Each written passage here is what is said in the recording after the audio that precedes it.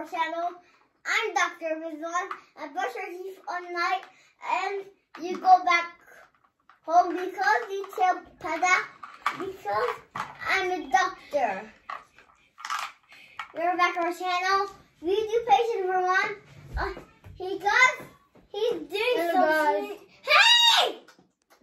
And because we're back on our channel, because my brought that light, because we are doing today YouTube. Uh, my arm got hurt. It's black over here, so I need Dr. Vizon to help me. Where's the blood on? It's it's black somewhere right over here. and I need you to fix Where's the it. blood one? Like it's Welcome, Mm. guys. my arm got hurt right over here. Uh, and I don't know if my arm is fine, so I need you to fix it, please. Is, am I gonna be fine?